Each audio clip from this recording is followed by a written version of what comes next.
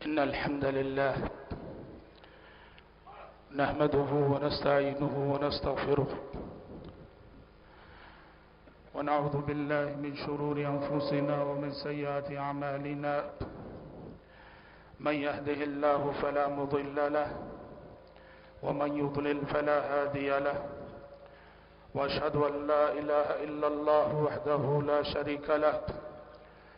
وأشهد أن محمدا عبده ورسوله. يا أيها الذين آمنوا اتقوا الله حق تقاته ولا تموتن إلا وأنتم مسلمون. يا أيها الناس اتقوا ربكم الذي خلقكم من نفس واحدة وخلق منها زوجها وبث منهما رجالا كثيرا ونساء. واتقوا الله الذي تساءلون به والأرحام. إن الله كان عليكم رقيبا. يا أيها الذين آمنوا اتقوا الله وقولوا قولا سديدا. يصلح لكم أعمالكم ويغفر لكم ذنوبكم. ومن يطع الله ورسوله فقد فاز فوزا عظيما. أما بعد فإن خير الحديث كتاب الله وخير الهدي هدي محمد صلى الله عليه وسلم. وشر الأمور محدثاتها وكل محدثة بدعة وكل بدعة ضلالة وكل ضلالة في النار. أعوذ بالله السميع العليم من الشيطان الرجيم من همزه ونفخه ونفسه. اعلموا أنما الحياة الدنيا لعب وله وزينة وتفاخر بينكم وتكاثر في الأموال والأولاد. كمثل غيث أعجب الكفار نباته ثم يهيج فتراه مصفرا ثم يكون حطاما. وفي الآخرة عذاب شديد ومغفرة من الله ورضوان. وما الحياة الدنيا إلا متاع الغرور. محترم حضرات اللہ تبارک و تعالیٰ کا بے انتہا شکر احسان ہے کہ ہم سب ماہ رمضان کی عبادتوں سے فارغ ہو کر عید الفطر کی سنت ادا کرنے کے لیے آج یہاں میدان میں جمع ہوئے ہیں۔ دعا ہے کہ اللہ تبارک و تعالی ہماری آپ کی ٹوٹی پھوٹی عبادتوں، ریاضتوں کو قبول فرمائیں آمین، ثم آمین۔ خطبہ عید میں مجھے آپ کو کئی پیغامات دینے ہیں۔ بات میں اس آیت سے شروع کرنا چاہوں گا۔ جو آیت کے میں نے خطبہ مسنونہ کے بعد پڑھی۔ اللہ تعالیٰ نے صورت الحدید کی اس آیت میں دنیا کی حقیقت اور حیثیت کو بیان کرتے ہوئے فرمایا، اعلموا انما الحیات الدنیا لعب ولہ جان لو کہ دنیاوی زندگی بس کھیل تماشا ہے وزینت اور ایک رونق ہے۔ وتفاخر بینکم اور آپس میں ایک دوسرے پہ فخر کرنا ہے۔ وتکاثر فی الاموال والاولاد اور مال اور اولاد میں ایک دوسرے پہ کثرت جتانا ہے۔ کمثل غیث عجب الکفار نباتہ اس بارش کی مانند کہ جس کی پیداوار کسان کو پہلے تو بڑی بھلی لگتی ہے، بڑی اچھی لگتی ہے۔ ثم یہیج فتراہ مصفرا پھر اس پہ فصل پہ آفت آتی ہے تو خشک ہونے لگتی ہے، زرد ہو جاتی ہے، پیلی ہو جاتی ہے۔ ثم یکون حطاما، اور پھر دیکھتے ہی دیکھتے وہ ساری پیداوار چورا چورا ہو کر رہ جاتی ہے۔ وَفِي الْآخِرَةِ عَذَابٌ شَدِيدٌ وَمَغْفِرَةٌ مِّنَ اللَّهِ وَرِضْوَانٌ۔ آخرت میں سخت عذاب بھی ہے، اللہ کی بخشش بھی ہے، اس کی رضامندی بھی ہے۔ وَمَا الْحَيَاةُ الدُّنْيَا إِلَّا مَتَاعُ الْغُرُورِ اور دنیاوی زندگی تو بس دھوکے کا سامان ہے۔ حضرات، اس آیت میں اگر غور کیا جائے، تو حقیقت میں اللہ تبارک و تعالیٰ نے عمر کے مختلف مرحلوں کی طرف اشارہ کیا ہے۔ دنیاوی زندگی کی حقیقت اور حیثیت کو بتاتے ہوئے اللہ تبارک و تعالیٰ نے انسانی زندگی کے عمر کے مختلف مرحلوں کی طرف اشارہ کیا۔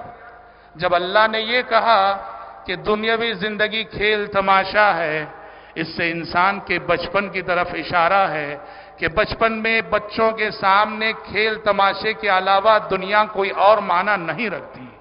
اور جب اللہ تعالیٰ نے یہ کہا کہ دنیاوی زندگی رونق ہے، اس میں جوانی کی طرف اشارہ ہے کہ جوانی میں بننے سورنے کا شوق ہوتا ہے۔ ہر آدمی اپنے آپ کو مزین کر کے اپنے آپ کو بارونق دکھانا چاہتا ہے۔ تو زینت کہہ کے اللہ نے جوانی کی طرف اشارہ کیا۔ اور تفاخرم بینکم وتکاسرن فی الاموال والاولاد کہہ کر بڑھاپے کی طرف اشارہ کیا ہے۔ کہ انسان جب بوڑھا ہو جاتا ہے اسے اپنی نوجوان اولاد پہ ناز ہوتا ہے، اسے اپنی کمائی ہوئی دولت پہ ناز ہوتا ہے۔ میں تجھ سے زیادہ ہوں، میں تجھ سے بڑا ہوں۔ یہ نعرے اور یہ دعوے انسان کرنے لگتا ہے۔ تو اللہ تبارک و تعالیٰ نے عمر کے مختلف مرحلوں میں دنیا کو لے کر انسان کا جو مزاج ہے، انسان کی جو طبیعت ہے، انسان کی جو نفسیات ہیں، اس کو واضح کیا اور پھر بعد میں فرمایا وَمَلْ حَيَاتُ الدُّنْيَا إِلَّا مَتَاعُ الْغُرُورِ۔ دنیا چاہے جس شکل میں بھی آ جائے، دنیا چاہے جس صورت میں بھی آ جائے، دنیا چاہے اپنے خزانوں سمیت آ جائے، اے انسانوں، اس سبق کو نہ بھولو، یہ دنیا دھوکے کا سامان ہے۔ یہ دنیا دھوکے کا سامان ہے، یہ دنیا فرے بھی ہے۔ حضرات، اگر دنیا دولت کا نام ہے، اگر دنیا دولت کا نام ہے، اس کا انجام قارون کی شکل میں دیکھ لو۔ اگر دنیا قوت و طاقت کا نام ہے، اس کا انجام قوم عاد کی شکل میں دیکھ لو۔ اگر دنیا صنعت و حرفت اور فنی مہارت کا نام ہے، اس کا انجام قوم سموت کی شکل میں دیکھ لو۔ اگر دنیا تخت و تاج کا نام ہے، اس کا انجام فرعون کی صورت میں دیکھ لو۔ اگر دنیا حسن و جمال کا نام ہے تو زمین میں مدفون حسیناؤں کی شکل میں اس کا انجام دیکھ لو۔ اگر دنیا عیش و عشرت کا نام ہے، تو جاؤ بادشاہوں کے ویران بنگلوں اور محلوں کی شکل میں دنیا کے انجام کو دیکھ لو۔ جاگور غریباں پہ نظر ڈال بعبرت جاگور غریباں پہ نظر ڈال بعبرت کھل جائے گی تجھ پر تیری دنیا کی حقیقت۔ کھل جائے گی تجھ پر تیری دنیا کی حقیقت۔ عبرت کے لیے ڈھونڈ کسی شاہ کی تربت۔ اور پوچھ کہاں ہے وہ تیری شان حکومت؟ کل تجھ میں بھرا تھا جو غرور آج کہاں ہے؟ کل تجھ میں بھرا تھا جو غرور آج کہاں ہے؟ اے کاسا سر بول تیرا تاج کہاں ہے؟ علامہ ابن قیم رحمت اللہ علیہ فرماتے ہیں، علامہ ابن قیم نے دنیا کو تشبیح دیتے ہوئے دنیا کی حیثیت کو واضح کیا، کہا، فرمایا، دنیا اگر دین کے بغیر آئے، دنیا اگر دین کے بغیر آئے تو دنیا کی مثال ایک زانیہ عورت جیسی ہے کہ وہ کبھی زندگی میں کسی ایک سے وفاداری نہیں کرتی۔ آج اس کے پاس تو کل کسی کے پاس، پرسوں کسی اور کے پاس، اس دنیا کی حیثیت بھی ویسی ہے، یہ دنیا کسی سے کبھی وفاداری نہیں کرتی۔ حضرات مومنانہ نقطۂ نظر کامیاب نقطۂ نظر یہی ہے کہ دنیا کو اسی نظر سے دیکھ کر دنیا کو برتا جائے اور یہ سبق نہ بھولا جائے۔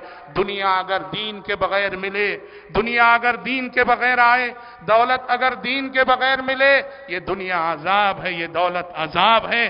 مومن کی دنیا وہ دین کے ساتھ ہوتی ہے۔ مومن کی دولت وہ دین کے ساتھ ہوتی ہے۔ دین کے ساتھ جو جو دنیا ہم برتتے ہیں، واقعی معنوں میں حقیقی دنیا وہی ہے۔ حضرات، آج ہمیں صدق دل سے اللہ کی طرف رجوع ہونے کی ضرورت ہے۔ صدق دل سے اللہ کی جناب میں توبہ کرنے کی ضرورت ہے۔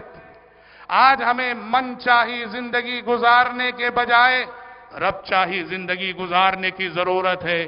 دنیا کو دیکھ لو، ہر طرف حوث پرستی عام ہے، نفس پرستی عام ہے۔ انسان من رب چاہی زندگی گزارنے کے بجائے من چاہی زندگی گزار رہا ہے۔ ضرورت اس بات کی ہے کہ رب چاہی زندگی گزاری جائے، نہ کہ من چاہی زندگی۔ ضرورت ہے کہ ہم ہر چھوٹے بڑے گناہ سے بچیں۔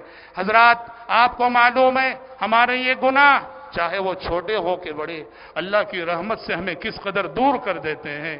گناہ جو شب و روز ہم کرتے ہیں، صبح و شام ہم سے جو گناہ سرزد ہو رہے ہیں، اللہ کی رحمت ہم سے کیسے منہ موڑے جا رہی ہے؟ اللہ کی رحمت سے ہم خود کو کیسے محروم کیے دے رہے ہیں؟ صحابی رسول عمران بن حسین رضی اللہ عنہ، پیارے نبی کے ایک جلیل القدر صحابی تھے۔ عمران بن حسین رضی اللہ عنہ کی ایک بہت بڑی منقبت بہت بڑی خصوصیت یہ تھی کہ رات چلتے ہوئے ملائکہ اور فرشتے انہیں سلام کرتے تھے۔ صحیح مسلم کی حدیث ہے۔ صحیح مسلم کی صحیح حدیث ہے۔ عمران بن حسین رضی اللہ عنہ کو رات چلتے ملائکہ سلام کرتے تھے۔ فرشتے انہیں سلام کیا کرتے تھے۔ ایک مرتبہ یہ ہوا کہ حضرت عمران بن حسین رضی اللہ عنہ نے داغنے کا علاج کر لیا۔ قدیم طریقہ علاج ہے۔ مریض کو آخری اور فائنل علاج کے طور پہ زخم کی جگہ داغا جاتا ہے اور اس میں شفا بھی ہے۔ پیارے نبی نے ایک حدیث میں فرمایا، تین چیزوں میں شفا ہے پچنا لگانے میں، شہد پینے میں، داغنے میں، ان تین چیزوں میں شفا ہے۔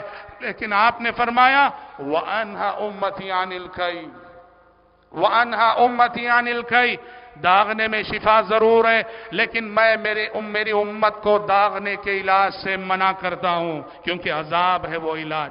لیکن بعض احادیث میں کچھ گنجائش بھی رکھی گئی ہے۔ عمران بن حسین رضی اللہ عنہ ایک مرتبہ بیمار ہوئے۔ عمران بن حسین رضی اللہ عنہ نے داغنے کا علاج کر لیا داغنے کا علاج کر لیا۔ فرماتے ہیں، جس دن سے میں نے داغنے کا علاج کیا، اس دن سے ملائکہ اور فرشتوں کے سلام کرنے کا معمول ختم ہو گیا۔ صحیح مسلم کی حدیث ہے۔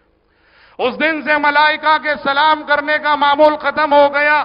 میں جو ملائکہ اور فرشتوں کے سلام کی آواز سنتا تھا، جیسے ہی میں نے داغ لگایا، اس دن سے وہ سلام کا سلسلہ ختم ہو گیا۔ مجھے فوراً احساس ہوا، میں نے توبہ کی اللہ تبارک و تعالیٰ سے۔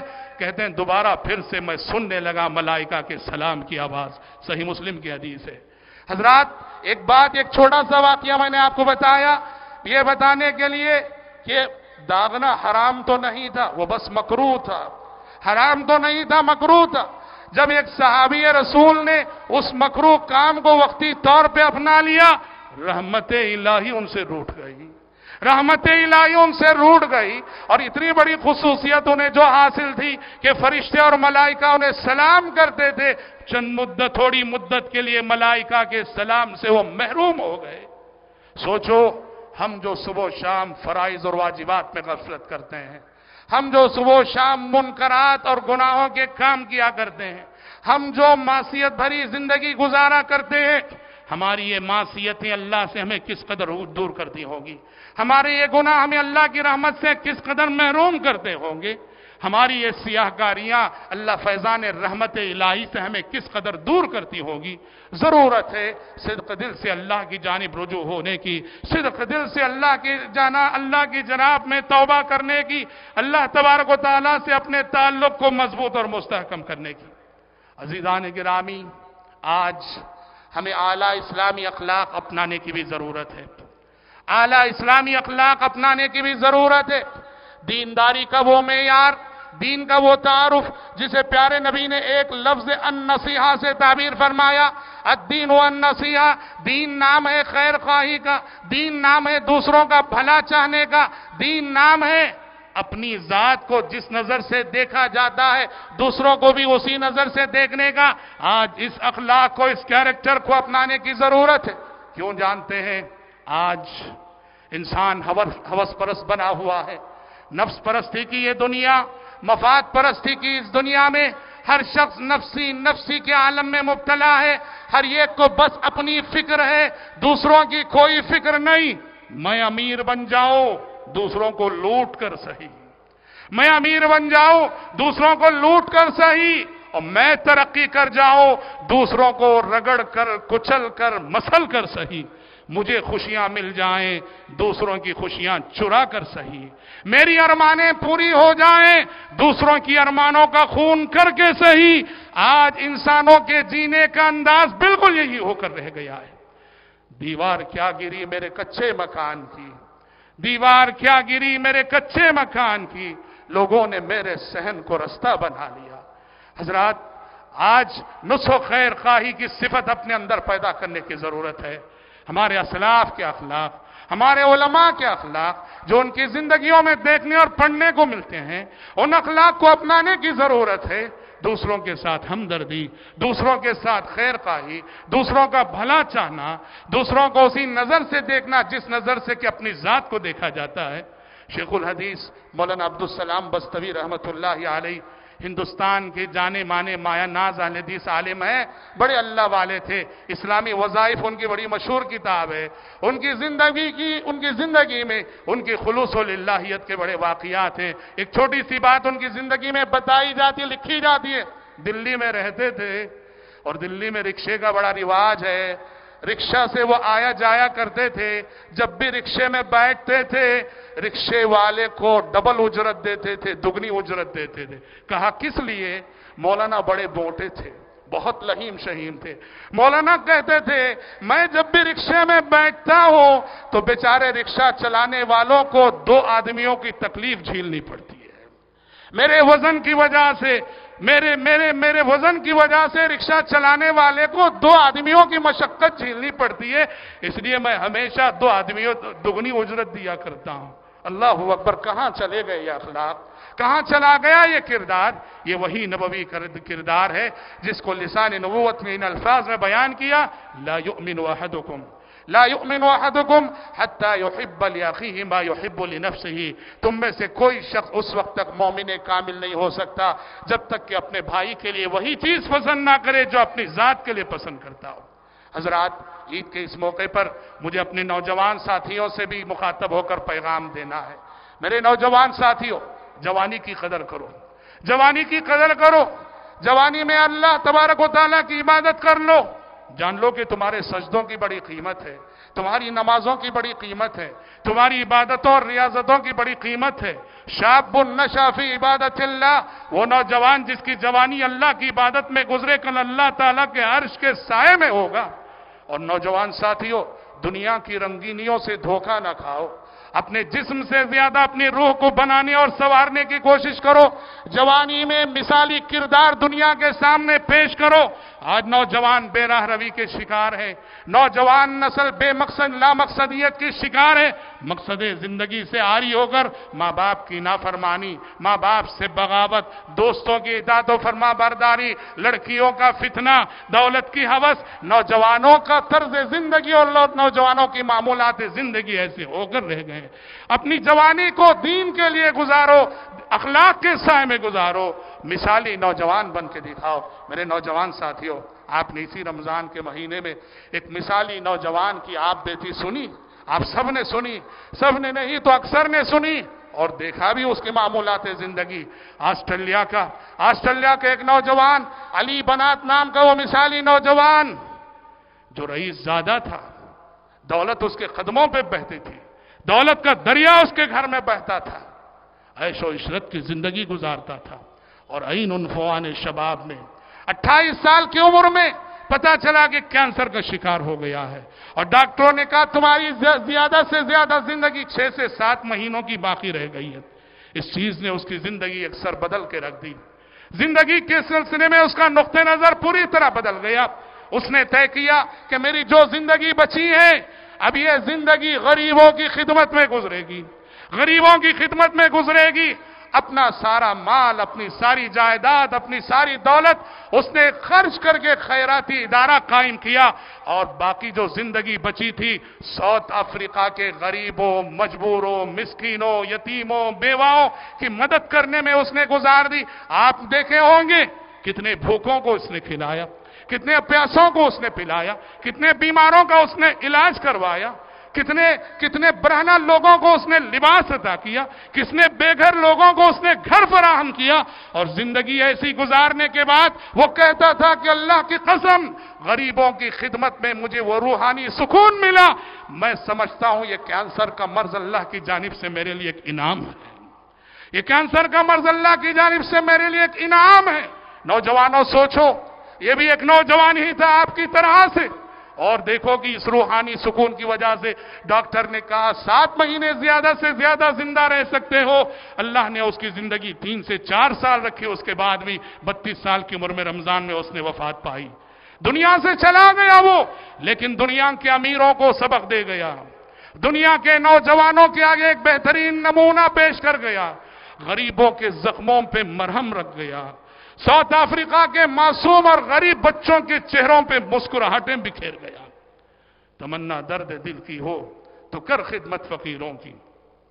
تمنا درد دل کی ہو تو کر خدمت فقیروں کی۔ نہیں ملتا یہ گوہر بادشاہوں کے خزینوں میں۔ بارے دنیا میں رہو غم زدہ یا شاد رہو۔ بارے دنیا میں رہو غم زدہ یا شاد رہو۔ ایسا کچھ کر کے چلو، یہاں کے بہت یاد رہو۔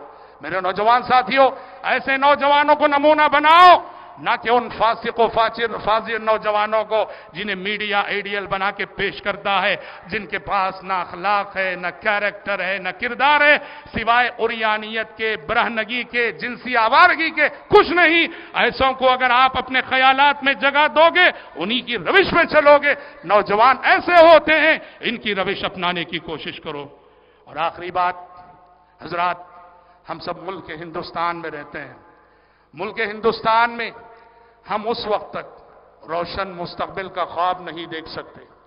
ملک ہندوستان میں ہم مسلمان اس وقت تک روشن مستقبل کا خواب نہیں دیکھ سکتے جب تک کہ یہاں ہم ایک امت کی حیثیت سے جینا نہیں سیکھیں گے۔ کیا مطلب ہے امت کی حیثیت سے جینے کا؟ امت کی حیثیت سے جینے کا مطلب یہ ہے کہ ہماری صفوں میں ملی اتحاد ہو۔ ہم اب ہم مخالفین کے سامنے، غیروں کے سامنے ایک امت بن کے دکھائیں ملی اتحاد ہو ہماری صفوں میں۔ مثل المؤمنین فی توادہم وتراحمهم وتعاطفهم كمثل الجسد اذا اشتكى من عضو تداعى له سائر الجسد بالسهر والحمى۔ آپ صلی اللہ علیہ وسلم نے فرمایا مسلمانوں کی مثال، آپس میں ایک دوسرے کی ہمدردی کرنے میں، آپس میں ایک دوسرے کی غمخاری کرنے میں، آپس میں ایک دوسرے پر رحم کرنے میں ایک جسم کی طرح سے ہے ادشتکا من عضون کہ جسم کے ایک عضو کو اگر تکلیف ہوتی ہے، تو سارا بدن اس تکلیف کو محسوس کرتا ہے، بے چین ہو جاتا ہے۔ آج اس ملی اتحاد کو پیدا کرنے کی ضرورت ہے۔ اور یاد رہے، یہ اتحاد قال اللہ، قال الرسول کی بنیاد پر ہو۔ اللہ نے کہا، وَأَطِيعُ اللَّهَ وَرَسُولَهُ وَلَا تَنَازَعُوا فَتَفْشَلُوا وَتَذْهَبَ رِيحُكُمْ وَاصْبِرُوا۔ اللہ کی اطاعت کرو، رسول اللہ کی اطاعت کرو، آپس میں جھگڑا مت کرو کہ تمہاری ہوا اکھڑ جائے گی اور تم زندگی کے ہر موڑ پہ ناکام رہ جاؤ گے۔ تو ایک امت کی حصے سے جینے کا مطلب یہ ہے کہ ہم ہم ہم متحد ہو کے امت واحدہ بن کے دکھائیں۔ اور دوسری بات امت مسلمہ کا جو مقصد حیات ہے، امت مسلمہ کے کا جو مشن ہے، جسے قرآن نے اخرجت للناس کے الفاظ میں بتایا، ہمیں اس دنیا میں جینا ہے انسانیت کے لیے۔ ہمیں اس دنیا میں جینا ہے انسانیت کے لیے، اللہ کے دین کی خدمت کے لیے، اللہ کے دین کی تبلیغ کے لیے، اللہ کے دین کی امانت کو انسانوں تک پہنچانے کے لیے۔ جن کی چوکٹیں غیر کے دروں پہ جھکی ہوئی ہیں، ان کی چوکٹوں اور زمینوں کو اللہ کے در پہ جھکانے کے لیے۔ جو شرک کے دلدل میں پھنسے ہوئے ہیں، انہیں شرک کے دلدل سے نکال کر توحید کا سبق پڑھانے کے لیے یہ امت مسلمہ کا مشن ہے۔ یہ امت مسلمہ کا مقصد وجود ہے۔ یہ امت جب تک اس مقصد پہ قائم رہے گی، عزت، کامیابی، سربلندی اس کا مقدر ہوگی۔ اور جب امت مسلمہ اپنے اس مقصد کو فراموش کرے گی، وہ اس کارزار حیات میں چار سو ناکام ہو کر رہ جائے گی۔ قرآن نے کہا، ولا تہینو ولا تحزنوا وانتم الاعلون ان كنتم مؤمنين۔ ولا تهنوا ولا تحزنوا وانتم الاعلون کمزور نہ پڑو، غم نہ کرو۔ غلبہ تمہارا مقدر ہے، غالب تم رہو گے شرط یہ ہے کہ ان کن تم مومنین واقعی مومن بن جاؤ۔ مومن بن جاؤ گے تو کارزار حیات میں، کارگاہ حیات میں ہر قدم غلبہ تمہارا مقدر ہوگا۔ آج ضرورت ہے ہمارے مقصد حیات کو سمجھنے کی، اپنے مشن کو سمجھنے کی۔ یہ امت ایک مقصد کے لیے زمین پہ برپا کی گئی ہے۔ اس مقصد کے احساس کے ساتھ ہمیں جینا ہے۔ پیارے نبی کی حیات طیبہ بھی ہمیں اسی بات کا سبق دیتی ہے۔ میں اپنی گفتگو کو زیادہ طول نہ دیتے ہوئے اسی پر ختم کرتا ہوں۔ اللہ تبارک و تعالیٰ سے دعا ہے کہ رب العالمین ہم سب کو، آپ سب کو، عالم اسلام کے سارے ہی مسلمانوں کو حقیقی معنوں میں عید کی خوشیاں نصیب فرمائیں رب العالمین، امت مسلمہ کو دشمنوں کے مکر و فریب سے اللہ تعالیٰ بچائے۔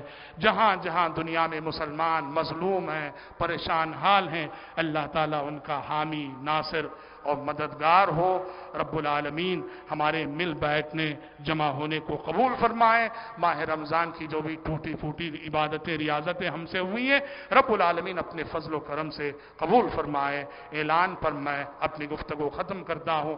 جیسے سال گزشتہ آپ نے عیدگاہ میں ڈائلسس کے مریضوں کے لیے تعاون عطا کیا تھا۔ آپ کو معلوم ہے چارمینار ٹرسٹ بورڈ کے تحت ڈیڑھ سو سے زائد ایک سو پینسٹھ ڈائلسس کے مریضوں کو ماہانہ تعاون دیا جاتا ہے۔